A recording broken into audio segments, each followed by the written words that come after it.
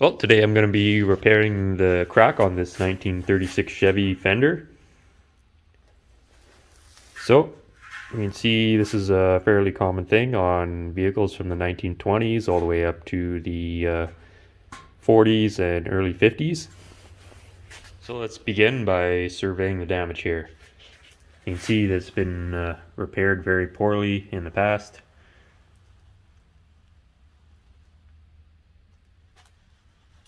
And when we look down the side, you can see that it's bulged out here. And then there's also, unrelated, but there is a dent in the body line right here. So we're gonna have to address that while we're working on this. And if we look at the body line here, you can see it's also cracked along this edge. And it's actually been pushed up. But this is hard to tell on uh, camera here, but the actual wheel opening, when they welded this, it was splitting apart on them. You can see how it kept growing and they just kept welding and welding. And so this fender is actually flat all across the top here. So when we go to fix this, we will have to pull this whole wheel opening back slightly to get this to the proper radius.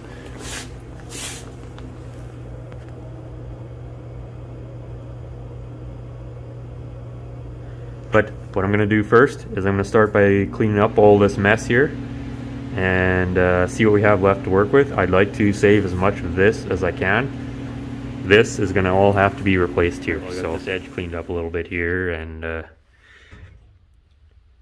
as with our dent repair theory, we're going to start on our edges and body lines and then work our way into this.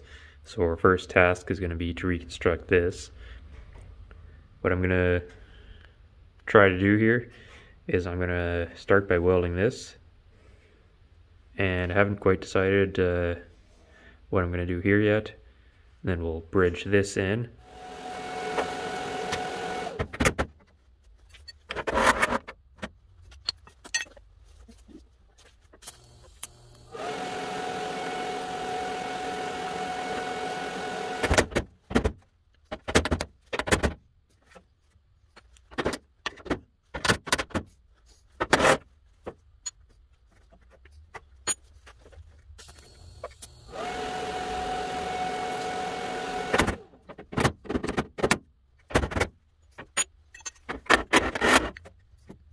So I got the edge very crudely welded back into place.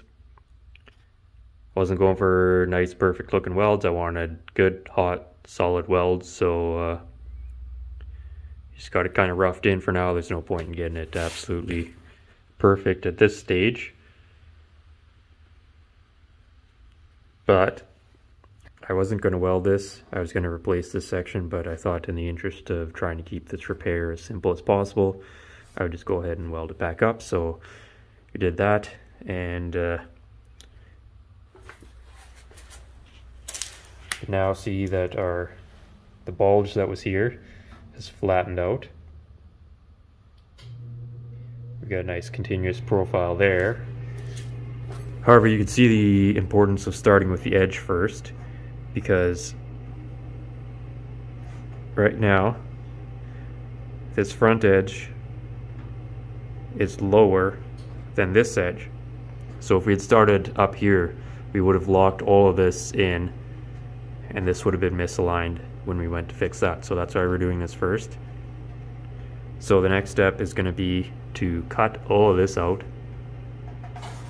remove that, and then pull the front edge of this fender back this way, which is going to help to bring and rotate this up and then we can bridge all of this in and we'll get this all put in.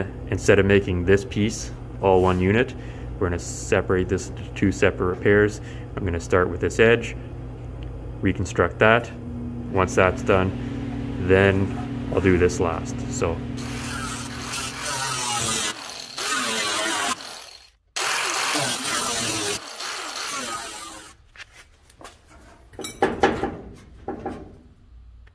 looks like we need a new fender.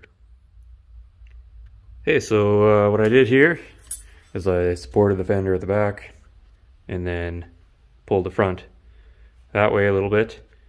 Uh, it ended up having to come back about a eighth inch from where it was. So that combined with this uh, lip being all pushed up is what was contributing to uh, the wheel opening not looking good. And I would say also template the, the other side, but unfortunately this is the good fender. So this fender is going to become our pattern for the other side once it's all repaired. But uh, what I used here is uh, found a piece of rod that was the same uh, thickness as the rod that's inside here. This actually came out of a 1935 maple leaf hood hinge, which uh, just so happens to be the same as this. So it's also, this isn't really necessary, but I did offset the uh, welded in section of rod from where I'm going to be welding in the outer sheet metal piece. A rod is welded here and here, and then our other seam will be offset from that. That way we don't have, uh, we were able to get a good solid weld into this rod. Again, probably not really necessary. It just helps to make the repair a little bit uh, better, I guess. Or now we can say we tried at least. So, next step, I'm going to get this section here put in and uh, then we'll stand back and look at the profile again some more make sure we're happy with it and we move on to this last you can see this is all misaligned here but uh, this is hammered down and this is hammered up and uh, it's all wonky from being welded 600 times so I don't care about any of this right now the only thing to watch out for is at the where it ends. You want to make sure it's not uh, buckled up or anything here because that would mean that we were we pulled it back too far. But I look at it, our profile here is still good. There's no stress in this area. So it just means that we just need, we'll have to hammer all of this back straight to where it needs to be. But again, we're focusing on this right now. So don't care about any of this. Focus on this. Okay, so I took a piece of 18 gauge and roughly cut it to the size. I didn't get it cut exactly yet because it doesn't matter. And then I just marked out roughly where I want my body line to be. So in the spirit of keeping this repair all GM, I found this inner door frame piece from the 33 Chevy that I chopped. And it just so happens that this edge has the same profile as what we're trying to create here.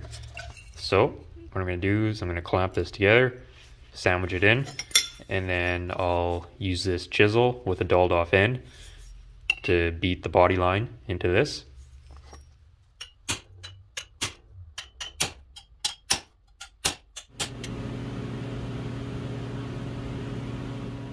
So we got our little patch there uh, welded in and just kind of loosely hammered back. Not getting too fancy with it at this stage, but uh, now at least our edge is solid and uh, reasonably straight. So I'll try to cover more of the welding. I didn't film I didn't film any of the welding on this. It's uh, just such a small area that you can't really see anything anyways. So I'll try to cover film more of the welding when I do this section here. But what I'm going to do now is I'm going to try to get this all kind of hammered back it's all pretty lumpy and stuff, so we'll get it as straight as we can before we start uh, baking this filler piece.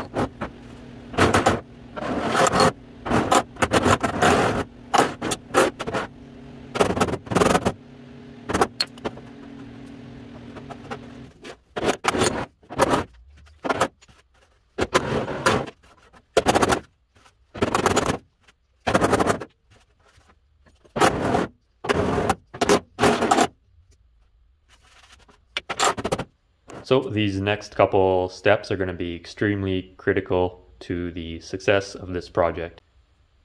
So you're probably going to want to pay attention to this. First, I'm going to take a roll of uh, Gorilla Tape here. And we are going to very carefully apply it to the underside. Make sure that it sticks.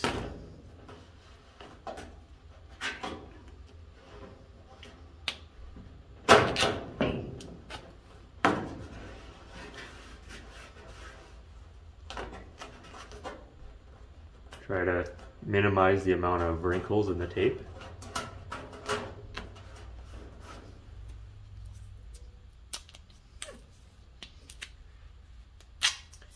Gonna add an extra piece here because I don't want this to wrinkle.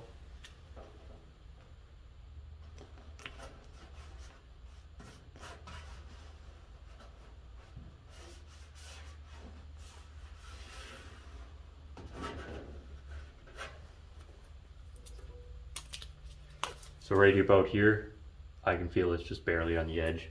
So I'm just going to take another piece of tape and apply it in this area.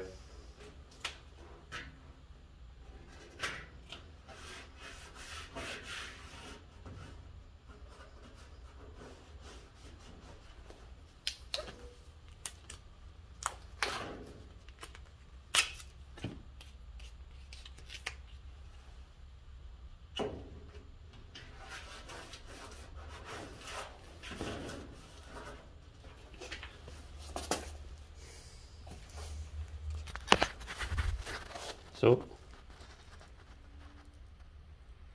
that should be good there. You see we've got a nice uniform application of tape here.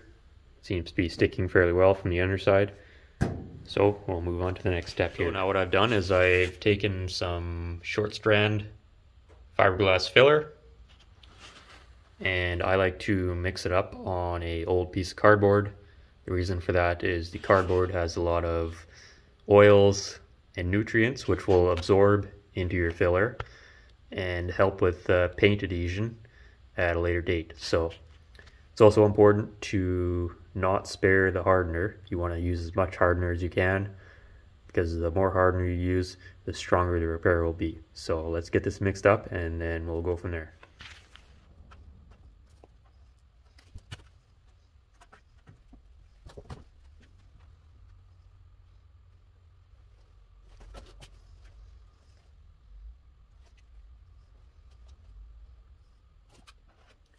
Now it's important to let our filler harden for two to three weeks. So now that it's nice and hard, we're ready to sand. The harder your filler gets, the easier it is to sand. So always make sure you give it plenty of drying time.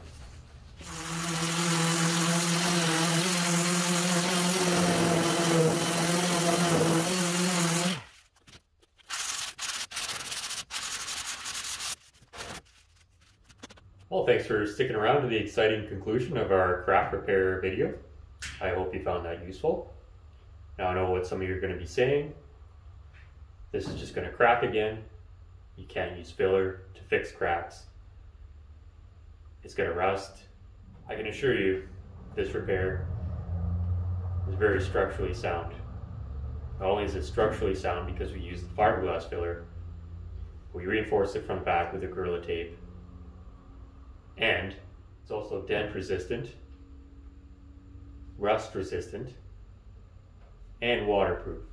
So this is a far superior repair to doing any kind of sheet metal welding in this area. There's no distortion from welding from the heat. So, you know, I'm very pleased with how this came out. Just to prove the worthiness of this repair to any of you who may say this is the wrong way to do this, I'm going to take my hammer and I'm going to hit it and I think you're going to be very impressed with the results.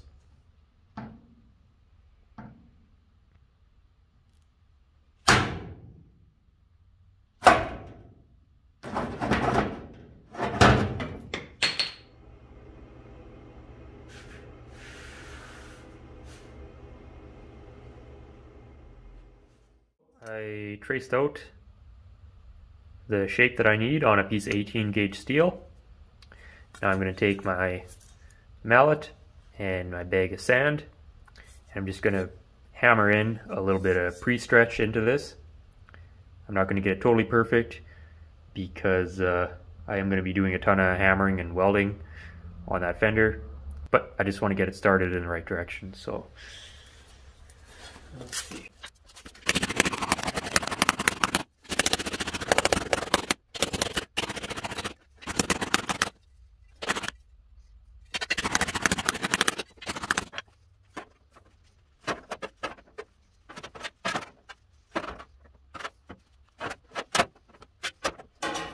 So that's going to be close enough for now. I'm going to trim off all this excess material now, and then we'll start fitting it into the fender. Well, we got our patch piece tack welded in here and just kind of beaten back into shape. So, uh, what's really critical on these is to get a pretty uh, tight gap all the way through. And the reason for that is if you have a large gap, you have to use more filler rod or wire to fill it. And that wire is harder than the parent material, the metal here. So we want a nice tight gap so that we're basically fusing the metal back together. One last thing I'll mention. You can see there, I've rounded this corner so I've done it both ways uh, with patches where I just go do a square edge rounding corner. This doesn't make a whole lot of difference from my experience, but it's always good practice to do as much as you can the right way, I guess. So that way, when we go to weld this and it goes horribly wrong, at least we can say we uh, tried and we did everything that we possibly could.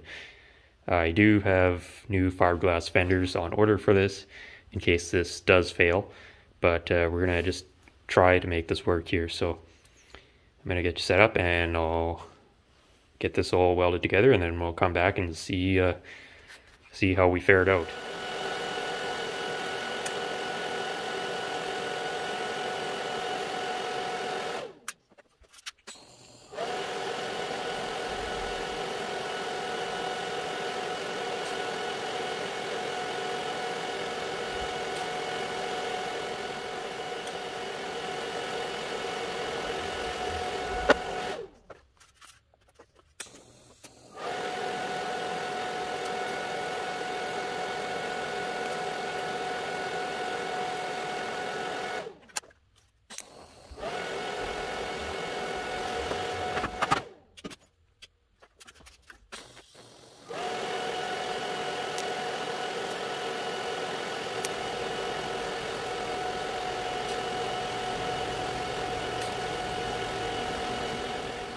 So we're all welded here. We uh, got a good solid weld, good penetration and nice and hot. And uh, it has sunk in a bit, especially along the top here.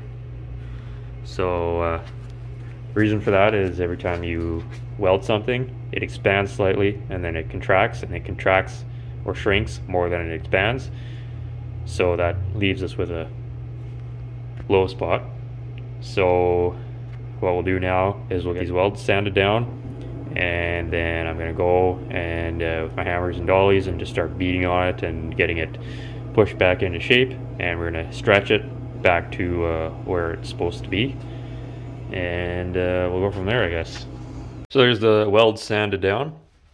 So I'm using for that is this uh, grinder here with a 50 grit pad and uh, and if you saw my last video where I was repairing the dents on this fender you can see just how quickly this thing will remove material so all I'm doing just going across very lightly low RPM and I'm just removing the, the weld and then as soon as I start to touch metal I stop you don't want to go any further than that you don't want to get it totally smooth right now. It looks like garbage right now, but that's okay. All we're doing is just sanding off the top of the welds. And then when it touches metal, that's when we know we have to stop. So there's no sense in trying to get this all smooth right now. Thing with this stuff is it always looks worse before it looks better. So if you try getting this all smooth right off the bat, you're just going to end up digging a hole in the metal and thinning it out, which we're trying to avoid. So now we got the welds sanded down. You can kind of see along the top here how low we are. And it's not only is it sunk in, but if we look at the profile here, it rocks. And then we look at the profile here, this sits flat. So we've got a pretty substantial low spot all through here. That's from the shrinking effect of welding it. So, uh, and all through here we've got some misalignment and things like that, but we'll uh, take care of that in the planishing stages. So start out, um, I'm just going to take a, a dolly like this, fairly rounded one, and I'm just going to go on the inside and just start bumping it up here, just so I can get some shape back into it. And then from there, once we're kind of in the ballpark, it's going to look like a lumpy bag of garbage. That's okay. So after that, we're going to go over the weld surface and we're going to planish it. So uh, planishing is basically stretching and smoothing out the metal. So what's happening is we're doing a hammer on dolly. And you hear that little ting? It means you're stretching the metal. So there's a metal piece of metal sandwiched in between here and the hammer. And every time you hit it, that metal is trapped and doesn't have anywhere to go. So it expands and that's what's going to help with the shrinking effect from the welding.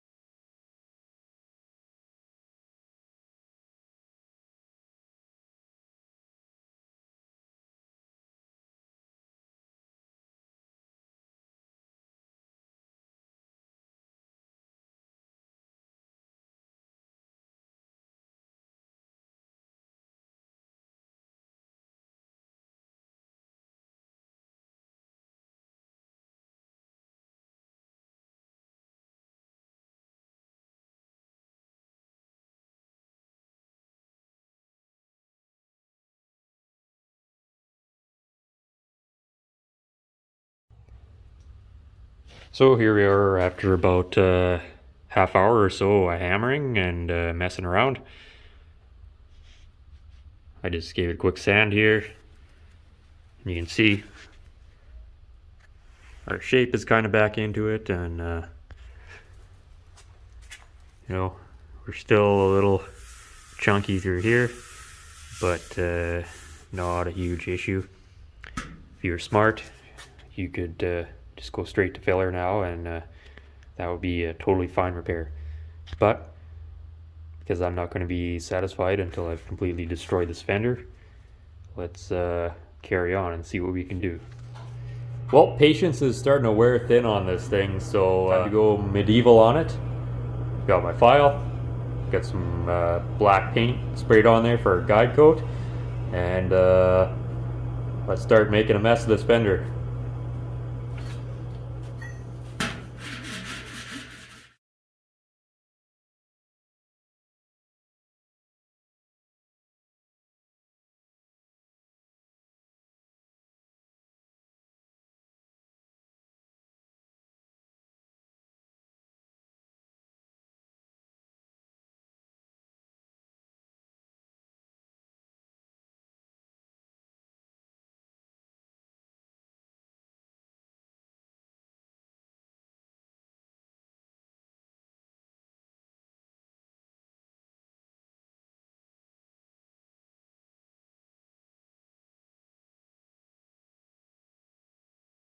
Uh, we just got this all smoothed out now with the file.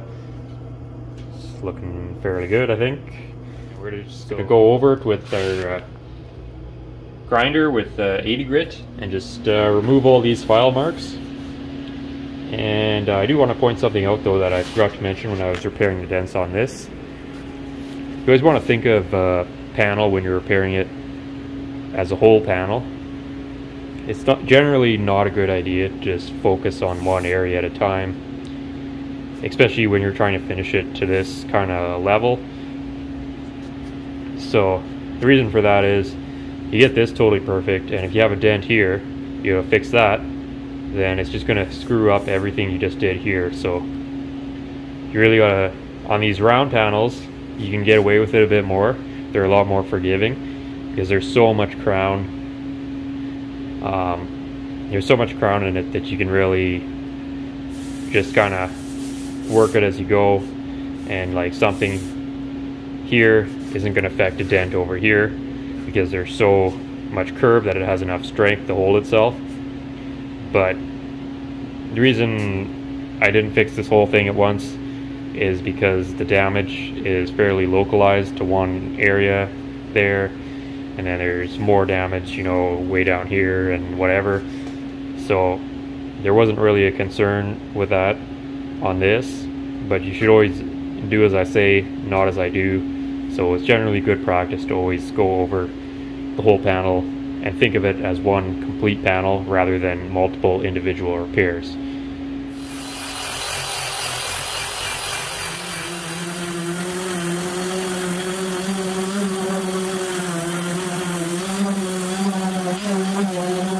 Well, I'm going to call that good from far and far from good.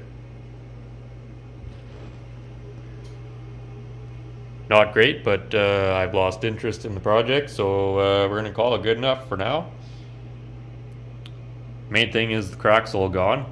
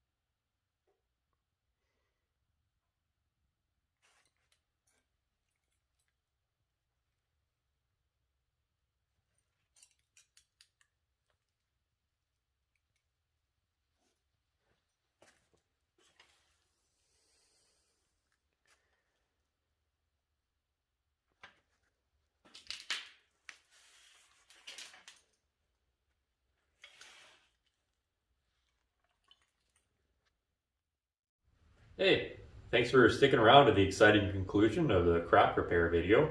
Now, I know what some of you are thinking, why didn't he just use fiberglass? Won't the metal just crack again? Well, I'm so confident in this repair, I'm gonna hit it with this big hammer, and I think you're gonna be really impressed with how well this holds up. Wow, did that hammer ever make a mess of that fender? Wasn't expecting that repair to fail. Good news is my fiberglass fenders are on the way. So we'll be able to get going on that 36 again pretty soon. I'm sure not all of you uh, have a TIG welder or you don't have a disgusting crack that's been poorly repaired two or three times in the past. So in my next video, I'm going to show you how to repair a crack like this using a MIG welder. So stay tuned for that.